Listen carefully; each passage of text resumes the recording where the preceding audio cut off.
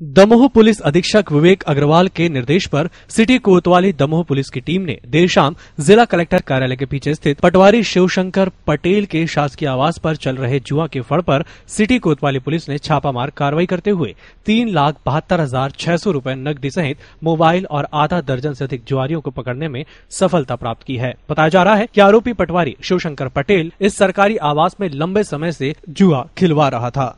इससे पहले भी पुलिस ने कई बार दबिश देकर जुआ पकड़कर इस पर कार्रवाई की है। बावजूद इसके, पटवारी अपने आवास में जुआ फड़ संचालित कर रहा था। शिवशंकर पटेल पटवारी जी हैं।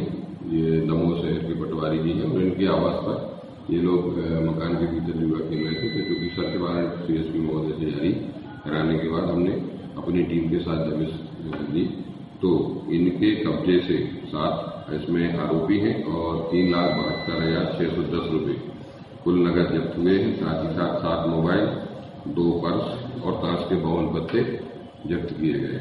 दमोह से ईएमएस टीवी के लिए दीपक सेन की रिपोर्ट।